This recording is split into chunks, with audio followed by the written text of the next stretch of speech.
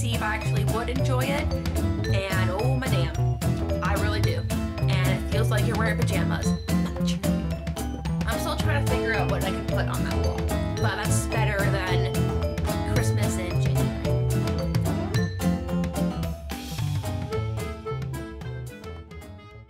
Hey guys, welcome back. Today's video is going to be my January favorites. I'm going to be talking about my makeup favorites, of course. I have a clothing favorite and a few uh, TV shows. So with this quick intro, let's just get into it. Okay, so for beauty, my first favorite is the Too Faced Perfect Eyes Waterproof Eyeliner in Perfect Black. I hauled this, I don't know, maybe two or three weeks ago, and I've been loving it ever since. It is such a great pigmented, easy to work with eyeliner.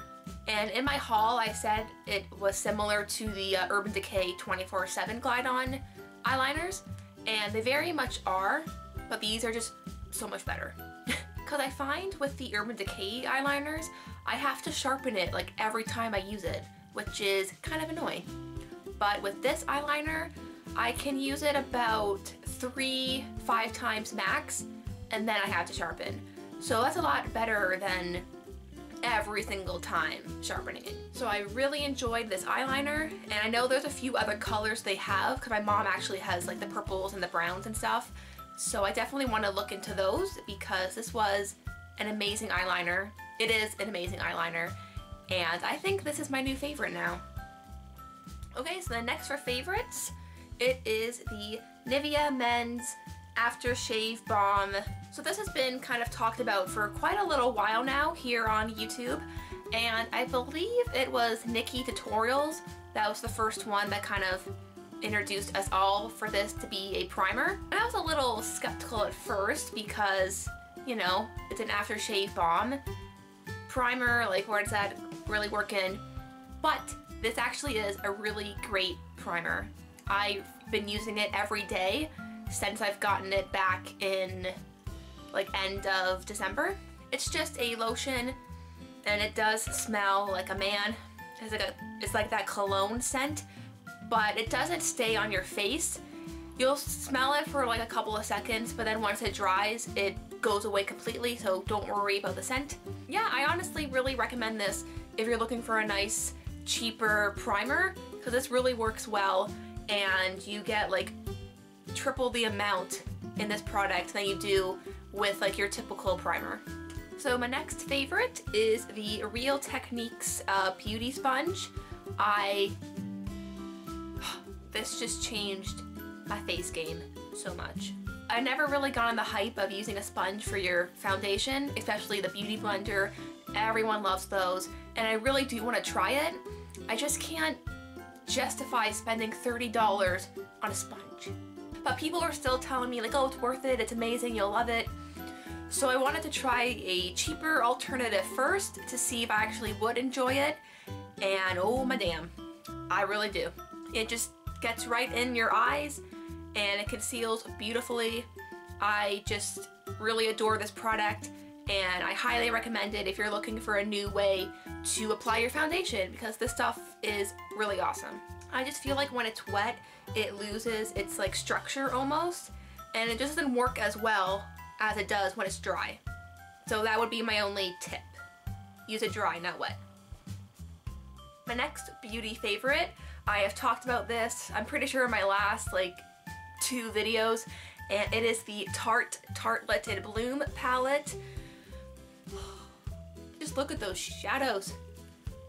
Whew. I just love that the majority of the palette is matte and you get about two or three uh, like shimmer shades.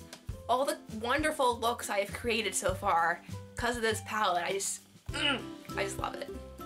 And it makes me really want to get the original Tartelette palette because I'm pretty sure that's still available at Sephora. Like the package is pretty, the shadows are pretty, they are so easy to work with, they're super pigmented and blendable, and all the colors work together, and so that's really helpful too. And I just, and yes, I did do a tutorial on this last week, and I will have that posted down below if you want to check that out. Okay, so my last two makeup favorites are both uh, lip products. The first one is the Tarte Tarteist Lip Paint in uh, Love Spell. And same thing, I got this back in my haul, and this stuff is really just great. the color is beautiful, the formulation is really nice, it's a matte finish, but it doesn't feel your lips feeling dry or anything. When I use this product, I personally find my lips to be um, like a nice smooth texture almost, but matte. And considering I have pretty bad dry lips, they get so dry and cracked like every day, it's very annoying. And I was kind of nervous about this product because it is matte, matte and dry lips just kind of don't work together. This product did, and the color itself lasted pretty much all day long. It left a really nice uh, stain on my lips, and same thing, the stain wasn't drying to my lips or anything. It didn't feel like awkward. If you were interested in these, I would definitely recommend them. Because Tarte came out with the lip paints and the lip crayons, do not get the lip crayons. Oh my gosh. In my Tarte uh, makeup tutorial that I did, I talked briefly about the lip crayon because I used it, and yeah, it just sucks. Don't buy it. Get the lip paint. It's better. Okay, and then my last beauty favorite is the Milani lipstick in Sangria. Uh, I love this color. It's like a nice purpley pink color.